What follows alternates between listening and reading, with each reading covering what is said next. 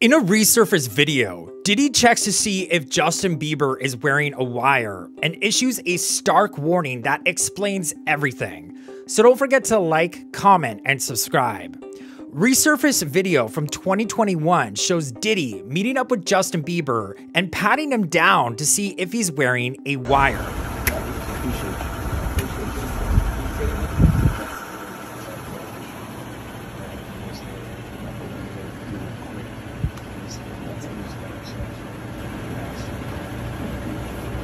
So, needless to say, if this video is from 2021, Diddy was being investigated for a while and has been paranoid ever since. In the video, Justin just looks so broken, like he's saying, you know, I've been having a rough time since you violated me and passed me around the industry. I mean, poor Justin. But if you increase the audio and get rid of all the background noise, you can hear Diddy say something to Justin that really explains everything.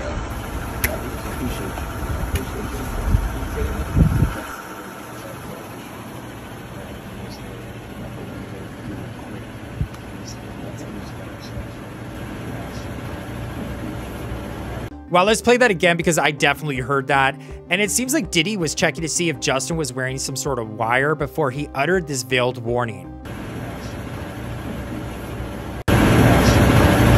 As I'm sure you're aware, Diddy is being investigated for human trafficking, and it's alleged in the Lil Rod lawsuit he would take advantage of men and women under the age of 16. After Lil Rod announced his lawsuit, Justin Bieber allegedly had a relapse and a mental breakdown. His alleged OD made wife's Hailey Bieber's dad ask people to pray for the couple. And a resurfaced video from 14 years ago called 48 Hours with Diddy apparently explains everything and how Justin was being taken advantage of by the industry. So the video shows Diddy taking Justin to a Ferrari that had been parked in the garage, and Diddy told Justin he can let him ride it as soon as he turned 16. Justin was only 15 at the time, and he gets excited and tries getting ahead of himself, but Diddy tells him to slow down. As soon as you turn 16, you know what I'm saying? I'm gonna let you rock this every time you come to LA. Yeah, this will be yours. So every time oh, you come to LA, it's a little dusty, but you know, completely front shot of this. Man. Minute. Woo. Okay. Okay. All right. So so I'm gonna be driving this Yeah, next yeah. year. Yeah, when you get 16, you come down there, you gotta, you know, wear your seat. I mean, I'm 15. You could ride in the passenger seat. I got my permit. Now that, not yet. No, All right. no, 16. You're 16. Let's slow All right. down. Let's slow down, Justin. Okay. Let's slow down, One, okay? one step at a time. But yeah, Diddy didn't just stop at giving Justin the Ferrari, he offered Justin the mansion and told him he could have it when he turned 18. yeah. Then when you get 18, you get the house, you get the mansion. Okay. I get the mansion.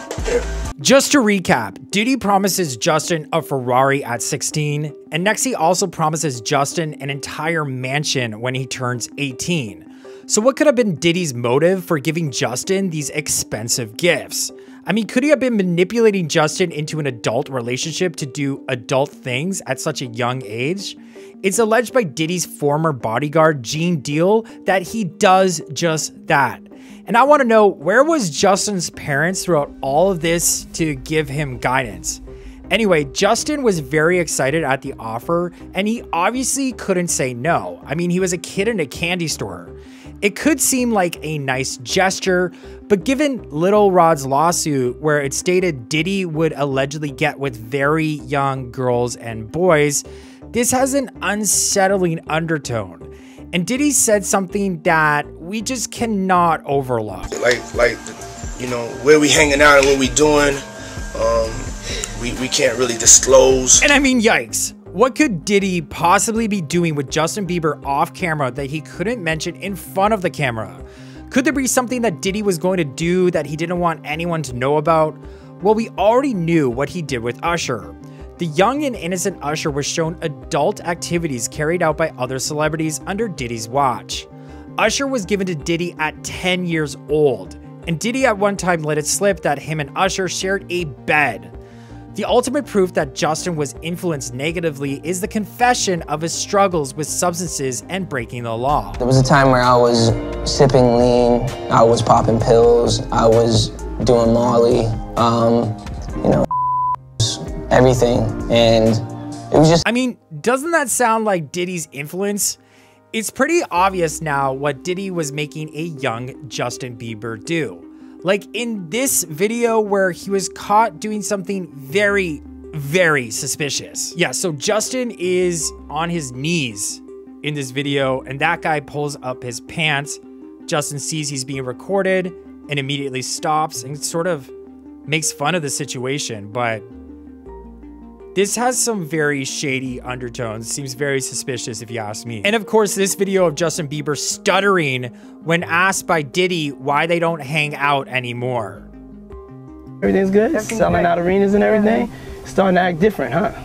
You, No, you ain't, you ain't been calling me and hanging out the way we used to hang out. Well, I mean, you haven't. I mean, you try to get in contact with me, you know, through all my, you know, biz, you know, partners and whatnot. Mhm. But you, you never really got, got my number, so. Right, okay. number? Yeah, yeah. Wow, he seems really nervous in that video. Like he doesn't want to talk to Diddy and just wants to leave. And there's a reason why they don't hang out anymore. Poor Justin. I mean, he looks so innocent here, and what he turned into is just sort of sad to me. So I'll just leave you with this joke by Andrew Schulz, which I thought was pretty funny. LA, I got tired of the media trying to smear this great city. They're saying you're a bunch of criminals and pedophiles. That is not the whole city. That is a very small, specific section of the city.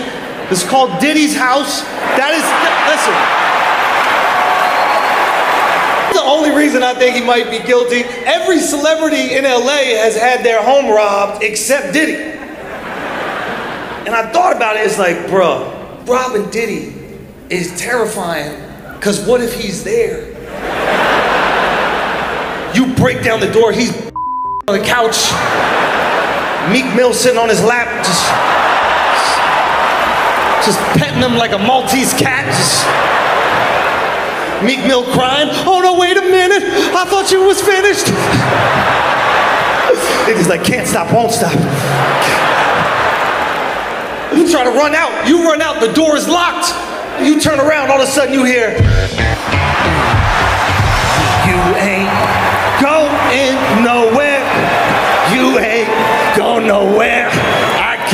Stopped now. It's your asshole tonight. Yeah, so going back to that JB video at the start, your ass is mine. It's all coming full circle. What do you guys think about all this? Sound off in the comments below, and don't forget to subscribe by hitting my face here